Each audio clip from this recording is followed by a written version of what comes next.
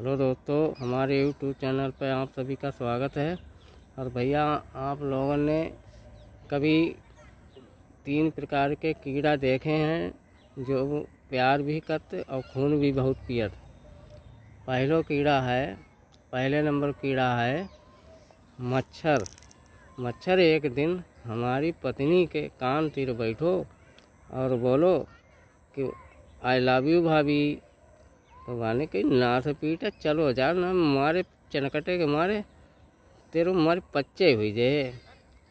वो भाजे आओ, फिर दोबारा फेरे गो फिर गाने की आई लव यू भाभी।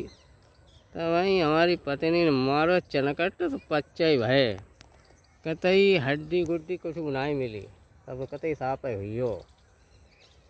फिर जो है कि दूसरे नंबर की है मक्खी। मक्खी जो है, जो भैया हर के खानों पर बैठते हैं और टट्टी फेरो तो टट्टियों पर बड़ा प्रेम से बैठते और वह जब हर के दूध या चाय पी के हटो, फिर मुँह पहुँच के जैसे ही दूर बैठो तो खट व आए के ओंठ बैठ जाते ओंठ बैठ जाते और उसके बाद में बाको कितो हटावो, लेकिन बार बार बैठे ओंठ है। क्यों बाको इतना प्यार होते?